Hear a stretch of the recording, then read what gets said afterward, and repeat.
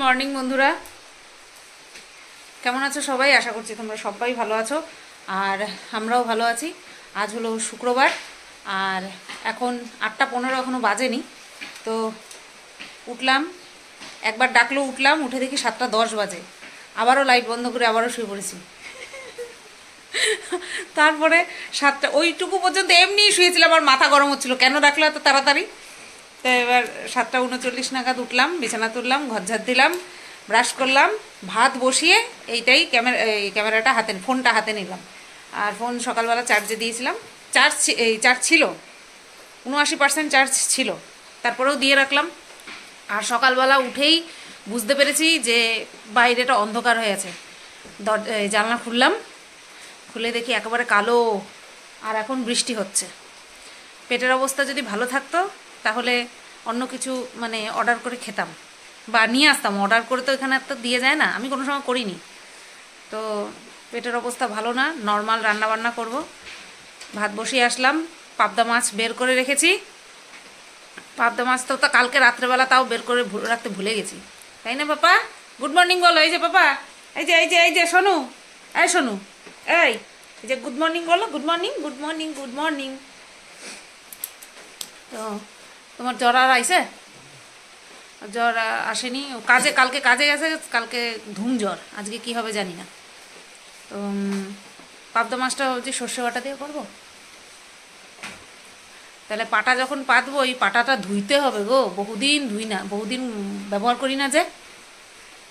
পাটাটা ধুতে হবে ভালো মতন। আর যদি পাটা নামাই, তাহলে একসাথে ওই পোস্তর মশলাটাও করে রাখব। কালকে যেহেতু শনিবার, ঝিঙে আলু পোস্ত করব।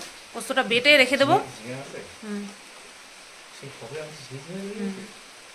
করা হয় নাই তো। পোস্ত আর সর্ষেটা বেটে রেখে দেবো ফ্রিজের মধ্যে একটুখানি সর্ষের তেল দিয়ে কালকে ঝিঙালু পোস্ত করব। তাহলে পনির আর আনা লাগবে না। নাকি? ঝিঙালু পোস্ত দিয়ে হবে বলছি আমি। লাউ আনছো ডাল প্রত্যেক শনিবার লাউ ডাল এটাও আবার একঘেয়েমি হয়ে যাচ্ছে। ভালো লাগে না। হ্যাঁ? তাহলে পনির, ডাল আর ঝিঙে আলু পোস্ত। দেখা যাক। চলো যাই রান্না করে যাই। বসলে বসেই থাকব। তো দেখো বন্ধুরা, এই ধনেপাতা দিয়ে আমার পাবদা মাছের ঝোল, ঝাল, যাই বলো না কেন গ্রেভি রেডি আর দেখতে যেরকম হয়েছে, খেতেও কিন্তু ঠিক সেরকম হয়েছিল, বেশ ঠিক হয়েছিল। গ্রেভিটা বেশ ঠিক হয়েছিল। টমেটো আর কাঁচা লঙ্কা আমি মিক্সিতে পেস্ট করে দিয়েছি, আর এমনি তো জানোই সর্ষে আর পোস্ত বেটে দিয়েছি শিলনোড়ায়। বলতে বলতে আলু পটলের কষা সেটাও রেডি হয়ে গেল। এটাও কিন্তু বেশ একদম গ্রেভিটা বেশ ঠিক রেখেছিলাম। ও পাতলা ঝোল ভালো লাগে না। জানি না কেন আমার নিজের হাতের পাতলা ঝোল ভালো লাগে না। অন্য কেউ যদি করে দেয় তাহলে ভালো লাগে। সহসা কোথাও যাই না, অন্যের হাতের খাওয়ার খেতেও পাই না। ওই নিজের হাতে খাই তো, তার জন্য এরকমভাবেই করি আমি। তো চলো রান্না বান্না কমপ্লিট হয়ে গেল। মাঝে বেগুন ভাজা করেছিলাম, সেটা আর তোমাদেরকে দেখানো হয়নি। দেখো, এই যে ফ্ল্যাশ লাইটটা অন করলে কাঁপে, জানি না কেন। তো গ্যাস ট্যাস সব পরিষ্কার করে এই জায়গা মুছে, টেবিল টেবিল মুছে সব কিছু গুছিয়ে নিয়ে, বাসন এই সাইডে রেখে দিয়ে, এই যে, এই হাঁড়ি, থালা, এই বাটিগুলো সব ওপরের, এই এখন দিয়ে আসব। ঘরে যাও ঘরে যাও, ঘরে ঢোকো ঘরে ঢোকো ঘরে ঢোকো। হুম, বেরোবো না। যাই, এখন এগুলো দিয়ে আসি। ব্যাস, আর এই যে রান্নাঘর মোছার ন্যাকড়া, এটাও কেচে ধুয়ে আনলাম। একবারে সব কাজ সেরে নিলাম। আর এখানে আসব না, একবারে দুপুরে ভাত করার সময় আসব। এগারোটা ষোলো, আর সব কাজ সেরে ঠেরে চলে আসলাম। বাইরে এখনও বৃষ্টি হচ্ছে। গামছা মাথায় দিয়ে যেইটুকু আমার বাইরের কাজ ছিল, সেটুকু করে এসছি। এখন বসবো। কিছুক্ষণ পরে সেরকম বাথরুম করিয়ে নিয়ে আসব। আর ওই রান্না করা রান্নাঘরের পাশের ঘরে আর যাওয়া যাচ্ছে না, ওই ঘষাঘষি চলছে পুট্টি। মারাত্মক পরিমাণে ধুলো। আমি আবার আজকে এই পাশ থেকে যাতায়াত করছি। এইটা হয়ে গেলে পরে তারপরে আসবে পাল্লা বানানোর লোক। তার মাঝখানে ইলেকট্রিকের কাজ আছে। আরও এখন এই এই কাজটা নিয়ে আরও তিন রকমের কাজ আছে। হয়ে গেলে পরে একটা গঙ্গায় ডুব দিয়ে আসব গো। একটা গঙ্গায় ডুব দিয়ে আসব। সামনের মাসে বারো তারিখ আসলে দুই মাস পূর্ণ হবে। আজকে পঁচিশ তারিখ। দেড় মাস হয়ে গেছে। বারো বারো চব্বিশ। হ্যাঁ। প্রায় দেড় মাস। এই যে, শেরু পাপা। পাপা? পাপা? পাপা?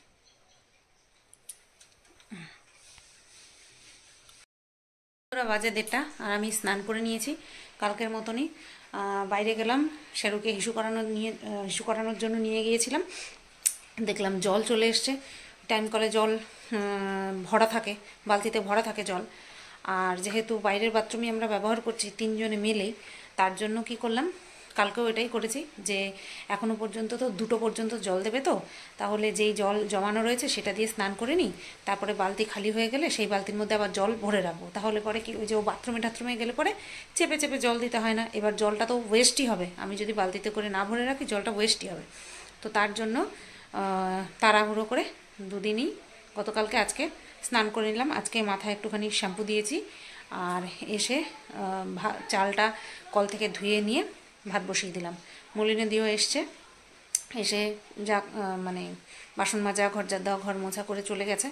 আমি ওদিকে স্নান করতে যাব আর মলিনা দিয়েও আসলো। আমি বললাম, তাহলে তুমি অন্য বালতি নিয়ে ঘর মোছো, আমি স্নান করে নিই। তো এই তো, এবার ভাতটা বসিয়ে দিয়ে তাই আমি ক্যামেরাটা আবার চালু করলাম। ননিকে এখন আমি দিতে পারব না, কারণ ওই সিংহাসনের অবস্থা করুণ হয়ে রয়েছে, পুরো সাদা ধুলোয় ঢেকে রয়েছে। যেহেতু ওই পুটির ঘষলো আজকে ঘষে টষে প্রাইমার করছে হয়তো এখন। কারণ ঘষা কাজ হয়ে গেছে বলেই আমার কাছে ফুল ঝাড়ুটা চেয়েছিল সব কিছু ঝাড় দেবে তাই। তাই রান্নাঘর আর রান্নাঘরের পাশের ঘর মানে সে বিভৎস অবস্থা হয়ে রয়েছে। এই মিস্ত্রি যখন চলে যাবে, তারপরে গিয়ে আমি ননিকে দেবো। ননিরে বললাম, এখন কিছু মনে করিস না বাবা, আমি ঠিক তোরে পরে দিয়ে দেবো। কোনো সময় তো ওরকম হয় না? আরে শোনা বাবা রে সরি সরি বাবা। এটা পিছনে বসে থাকে তো, পায়ের মধ্যে হালকা পাড়া পড়তে পড়তেই আমার হুশ চলে এসছে ইভিনিং বন্ধুরা। এখন পৌনে সাতটা বাজে। আর আমার দেখো নাইটি চেঞ্জ পরেছিলাম হাতাকাটা বেগুনি কালারের নাইটিটা আর এখন এই নাইটিটা পরা দেখছ। এর পেছনে অনেক গভীর কাহিনী রয়েছে। প্রথমে আমি একটা কথা বলতে চাই। এখানটায় বসে বসে একটা ভিডিও করলাম। দিনের যে দুটো ভিডিও করি, একটা ভিডিও তো গতকাল রাত্রেই করা ছিল, আর একটা এই এখন করলাম, এখন এক্সপোর্টে বসিয়েছি। ঠিক আছে? তোমাদেরকে একটা কথা বলি। তোমরা কেউ ঘরের কোনো কাজ বা কোনো কাজ করতে চাইলে বর্ষাকালে ধরো না। আমি আজকে না হলেও পঞ্চাশ থেকে ষাট বার এই ঘর আর বাইরে গেছি ছাতা নিয়ে। যদি একবারে যেতে পারতাম, বৃষ্টি না হতো তাহলে একবারে যেতে পারতাম। ছাতা মাথায় দিয়ে পঞ্চাশ ষাট বার আমি যাতায়াত করেছি। কেন? এই পুট্টিগুলো ঘষতে এসেছিল আজকে, পুট্টিগুলো ঘষে তারপরে তোমার প্রাইমার লাগিয়েছে। এই ঘরের দরজায় তারপরে রান্নাঘরের দরজায়, রান্নাঘরে বাথরুমে। যখন তো ঘষা শুরু করল, আমার মনে হয় পাউডারও এত সুন্দর ওড়ে না হ্যাঁ? যেইভাবে উড়লো। তো আমি ভাবলাম, আমার মাথাতেই ছিল না যে দরজাটাও ইয়ে করবে। তো তার আগেই তো মলিনা দি মুছে টুছে চলে গেছে, তোমাদেরকে বললাম। এইবার ওই, এই বারান্দা আরে, রান্নাঘর, রান্নাঘরের পাশের ঘর, আমি জাস্ট গিয়ে দেখে আমি তোমাদেরকে বললাম না যে, এই অবস্থায় আমি ননিকে দিতে পারব না। কারণ চারিদিক যে হয়ে আছে, আমি ওই অবস্থায় ননিকে দিতে পারব না ঠাকুরের। আমি ভাবলাম যে উনি বেরিয়ে যাক, তারপরে আমি পরে দেব। ওই জায়গাটা একটুখানি পরিষ্কার করে নিয়ে দেব। তারপরে আমাকে বলল, বৌদি এই ঘরের দরজাটাও প্রাইমার করতে হবে। আমি বললাম, ঠিক আছে। বলল, ধুলো উঠবে কেন কিন্তু? আমি বললাম প্রাইমার দিতে গেলে ধুলো উঠবে? বলছে, না, এই যে পুট্টিগুলো লাগিয়েছিল না, এগুলো ঘষতে হবে। আমি বললাম আচ্ছা ঠিক আছে। দরজা একটুখানি ওই জায়গায় জায়গায় পুট্টি লাগিয়েছিল, সেগুলো ঘষবে, সে আর কি। ওরে বাবা গো, সে যা ধুলো উড়লো, আমি দেখছি আর আমার কান্নায় বুকটা ফেটে যাচ্ছে। আমি এইবার কি করব? ঘর বাইর সব পরিষ্কার করতে হবে, আমার ভিডিও করা হয়নি। কালকে আমি যদি করে রাখতাম গো একটু। যাই হোক, বুঝতে পারিনি। তারপরে উনি যাওয়ার আগেই আমি এই ঘর ঝাঁপ দিচ্ছি। এই ঘর ঝাড় দিচ্ছি, তো উনি বলে কি, বৌদি, আমি বেরিয়ে যাই, তারপরে তুমি ঝাড় দিও, কারণ আপনি ঝাড় দিয়েন আমি বেরোলে পরেও ধুলো বেরোবে। তখন আমি বললাম, ঠিক আছে, আমি ঘর দুটো করে নিই। ঘর দুটো ঝাড় দিয়ে, ঘর দুটো মুছে, তারপরে মপ আর ওই বালতিটা বারান্দায় রাখলাম। তারপরে উনি যাওয়ার পরে আমি রান্নাঘরে পাশের ঘরে গিয়ে দেখি, সিংহাসনটা পুরো ধুলায় ভর্তি। সব কিছু গ্লাস, থালা, বাটি সব কিছু ধুলায় ভর্তি। মাথা দিশ বিষ খুঁজে পেলাম না, বাইরে কন্টিনিউ বৃষ্টি পড়ছে। কি করলাম?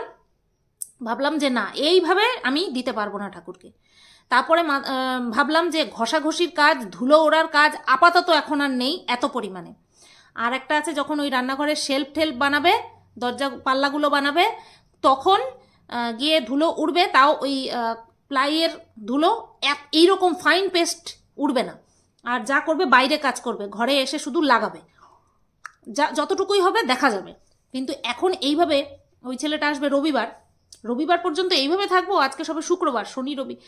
আমি তারপরে ভাবলাম যে না, এই সিংহাসন, এই শুধু শুকনো ন্যাকড়া দিয়ে মুছলে হবে না। জল নিয়ে আসলাম, জল নিয়ে এসে পুরো সিংহাসন চকাচক করে মুছলাম। মুছে ঠাকুরকে রাত্রেবেলা দেওয়ার আগেই সব ফুলগুলো আমি বের করলাম। সব ফুলগুলো বের করে নিয়ে তারপরে কি করলাম? তারপরে ওই, যখন ফুলগুলো বের করলাম, তখন আবার সিংহাসনটা যখন পরিষ্কার করলাম, তখন আমার নাইটি চেঞ্জ করতে হলো, কারণ ঠাকুর ধরবো তার জন্য। নাইটি চেঞ্জ করে নিয়ে তারপরে আমার দুটো নাইটি ভিজেছে। নাইটি চেঞ্জ করে নিয়ে ওই ঠাকুরের ফুলগুলো সব বের করলাম। যেই বেদিটা পাতা থাকে, লাল রঙের, ওটাকে সাইডে রাখলাম। করে আগা পাঁচতলা পুরো মুছলাম। মুছে নিয়ে ফুলগুলো ফেললাম। ফেলে বাসনগুলো ধুলাম। ধোয়ার পরে, তারপরে চারপাশ সব ধুলাম। মানে ধুলাম মানে মুছলাম।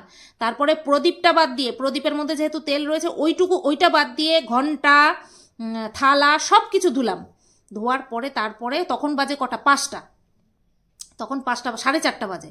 তারপরে বারান্দা টারান্দা দিয়ে মুছে ওই ঘর, রান্নাঘরে যতটুকু যাতায়াত করি বেসিনটা ব্যবহার করার জন্য, ততটুকু নিয়ে তারপরে গিয়ে ধুয়ে ঠুয়ে আসলাম। তখন বাজে সাড়ে পাঁচটা বিকেল। তারপরে মনে হচ্ছিল না আর আমি ভিডিও করি। তারপরে একটুখানি শুয়েছিলাম। শুয়ে থাকার পরে এই আমি ভিডিও করলাম। ও, না না না না না না। একটুখানি শুয়ে থাকছিলাম, তারপরে ঠাকুর পুজো দিলাম। সন্ধ্যা পুজো দিয়ে আসলাম। সন্ধে পুজো দিয়ে তারপরে একটুখানি বসলাম। বসে টসে নিয়ে তারপরে গিয়ে আমি এই ভিডিও করলাম। এই ভিডিওটা এতক্ষণে মানে এই ভিডিওটা না মানে কন্ট্রোভার্সি চ্যানেলের ভিডিওটা। ওটা মনে হয় এক্সপোর্ট হয়ে গেছে, পাঁচ মিনিট হয়ে গেছে। ঠিক আছে? তোমাদেরকে দেখাচ্ছি। এই এখন চা করতে যাব। এই বাচ্চাটারও ঘুম হচ্ছে না গো। এবার কি করব বলো? আমি যদি কাজ করি, ও কি শান্তিতে ঘুমাতে পারে? এই আমি ভিডিও করলে পরে ও একটু শান্তিতে ঘুমায়। তাও মাথাটা বাইরের দিকে ঝুলছে। ও, শোনো। না, থাক, ঘুমাক। বাজে সাতটা ছত্রিশ, আর আমি এই চা করে আনলাম। এতক্ষণ করতে পারিনি, কারণ হচ্ছে বলছি তোমাদের, এই চা করে নিয়ে আসলাম। প্রত্যেকদিন ভিডিও কলে বোনের সাথে কথা বলতে বলতে অভ্যাস হয়ে গেছে তো? আজকে আমি ভিডিও করছিলাম টাইম পার হয়ে গেছে ভিডিও কল করার, আমি ফোনটা সবে অন করেছি। সাথে সাথে বোন ফোন করেছে। তোমাদের সাথে কথা বললাম না পাঁচ মিনিট? তারপরে সাথে সাথে বোন ফোন করেছে। কথা বললাম, কথা বলে এই গেলাম চা করতে। খিদে পেয়েছে, তার জন্য মুড়ি নিলাম।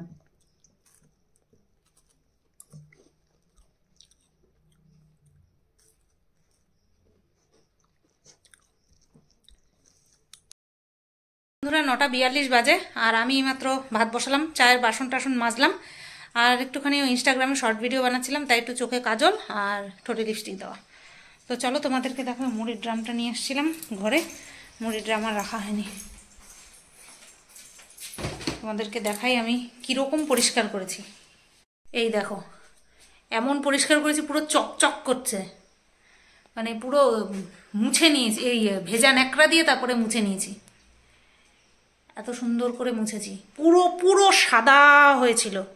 বোঝাতে পারব না, এখন তো ঠাকুর ঢাকা হয়ে গেছে। ওই যে, দেখো, পুরো কোনায় কোনায় কোনা খামচি, সব। এটা কিন্তু পলিথিন বেরিয়েছে। আর এখানটায় যে ছিটছিট দেখছ, যে চন্দনের ফোঁটা, এগুলি জোরে জোরে ডলা না দিলে হবে না। এই যে, এই বাসন কোসন সব সাদা হয়ে গিয়েছিল। এই যে দেখো, এই যে প্রদীপটা দেখো, প্রদীপটা এখনও সাদা হয়ে রয়েছে। প্রদীপে যেহেতু তেল রয়েছে, তাই ওটা শুধু ধুতে পারিনি বাদ বাকি সব ধুয়েছি। এই সব জায়গা থেকে শুরু করে এই যে এই গামলা ঠামলা সব ধুয়েছি। মারাত্মক কষ্ট হয়েছে। বৃষ্টি না হলে এত কষ্ট হতো না। এই চালের ড্রাম পুরো সাদা, এই মিক্সি পুরো সাদা সব কিছু সাদা হয়ে গিয়েছিল।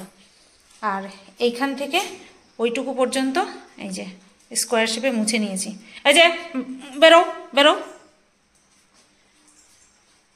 দেখো কীরকম ধুলো। ওই যে সাদার মধ্যে তো বোঝা যাবে না, তাও বোঝা যাচ্ছে যে কে বলেছে বোঝা যাবে না। তাও তো এইসব জায়গায় ওই লোকটা পরিষ্কার করে দিয়ে গেছে। চলো, বেরোই। ও তোমাদেরকে দেখিয়ে দিই, এই যে পুট্টি আজকে ঘষে দিয়ে প্রাইমার লাগিয়ে গেছে। এবার রং করবে। কালকে যদি আসে তাহলে রং করবে। এই জায়গা আসাও হয় না, দেখানোও হয় না তোমাদের। আর এই যে এই যে রান্নাঘরের দরজা, এই দরজাও প্রাইমার মেরে দিয়ে গেছে। রং হবে। চলো আমি যাই ও ঘরে যাই। অংশের উদ্যান দইটা বের করি। দুইখানা কোল্ড ড্রিঙ্কস পেয়ারা খাইনি গো আজকেও। লাইটটা বন্ধ করি। আমার এসে বলবে, আজকেও পেয়ারাটা খেতে পারো নি বললাম, না, আমার আজকে ক্লিন দা লেন্স দেখাচ্ছে। এখন আর ক্লিন করতে পারব না। আমার আজকে অবস্থা টাইট হয়ে গেছে। একেতে বৃষ্টি, তার মধ্যে ওই ঘর পরিষ্কার করতে গিয়ে আমার অবস্থা খারাপ হয়ে গেছে। পেয়ারা খাওয়া, ভিডিওই ঠিক মতন করতে পারিনি। পেয়ারা খাওয়া। বাবা, একটু যদি বেশি আয়ত্তের বাইরে গিয়ে নিয়মের বাইরে গিয়ে কাজ করি, তাহলেই হলো টিপ, এই টিপের আঠা, এই লাল টিপের আঠা এত খারাপ না, দেওয়ার সাথে সাথে উঠে যায়। আজকে কালো টিপ পরলাম, বহুদিন পরে আমি।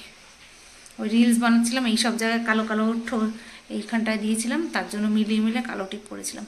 নাকেরটা খুঁজে পাইনি, ওই চিপ নাকের অক্সোডাইসের যে নাকের, খুঁজে পাইনি, অনেক খুঁজেছি, পাইনি।